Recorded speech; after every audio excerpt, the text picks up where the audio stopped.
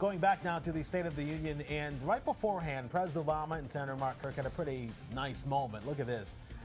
Senator Kirk just returned, of course, to the Senate last month following a massive stroke, and you can see before the thing they had that uh, that fist bump explode action followed by a little hug. Kind of a cool moment, though. It really was. Yeah. It really was.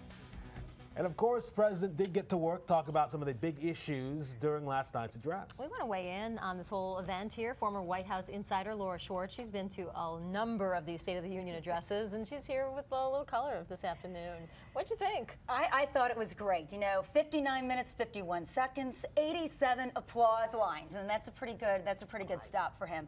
Um, it was good reception in the chamber, but last night I think we really saw that he was speaking beyond the chamber. He was talking to the American people. He was talking to the organizers that are left over from the campaign that he now wants to really call these congressmen and women and tell them, we heard these great proposals, now we want some action. So it's all going out from here. Mm -hmm. yeah. Of course, President Obama on the road today in North Carolina. In fact, he was speaking a short time ago there. So, I mean, he really, one thing that he has done a lot of is take his ideas that maybe Congress doesn't like, then go out and campaign, even after the campaign. And that's the way to do it. We saw it with the rising of the debt ceiling mm -hmm. um, right at the end of last year, early this year. But it'll be really interesting. He's in North Carolina today talking manufacturing. He will be here on Friday talking about violence, and he's going to be greeted by a city, as we all know, has been inundated with youth violence. In mm. fact, he'll be greeted by a new cover of the Time Out Chicago magazine, which shows the city in blood. And it's an mm. in-depth mm. story on youth violence, but it's very timely.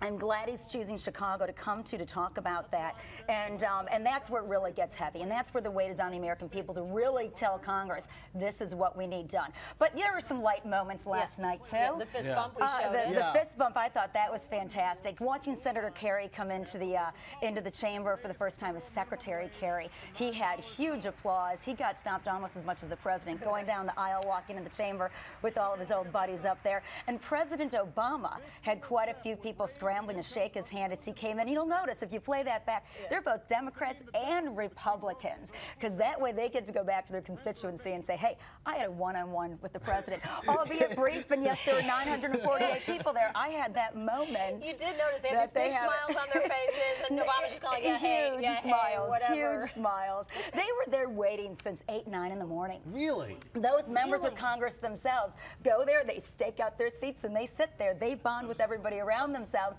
You know, these are the things where you think they just walk in, they're all assigned at the end. Not true. They, it's just like going to Lollapalooza. They're getting there early, they're I getting no their idea. seats. I didn't either. I, yeah. no, I always assumed it was assigned seating where everyone had their seat and they just happened to be along Ex the, Except the for the cabinet, the justices, and a few members of Congress in, in the, in the, in the ranking uh, majority. No, they, they were there early yesterday. I mean, really, they are concert goers. And it was really interesting to see, let's see the fashion statements. Uh -huh. You have some people wearing blue, some people wearing red. Uh, there was one Republican congresswoman that lost a bet with a Democratic congresswoman, and oh, if, no. they, if Obama won, they both had to wear blue. So, so there's always things like that going on. But the orange lapel pins I thought were really interesting. Yeah, yeah. 40 members of Congress wore them. They stand for no labels, meaning it stop just being your party line, start voting the way your constituents want. And the green?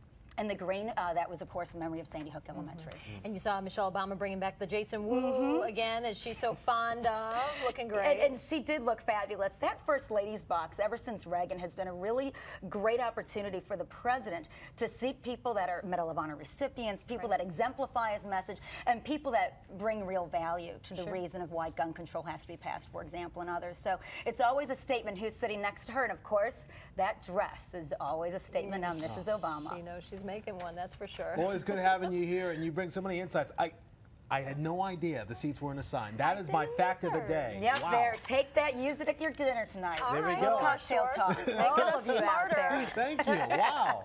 Thank White you. House Insider Laura Schwartz, thank you for being here. And good to see you.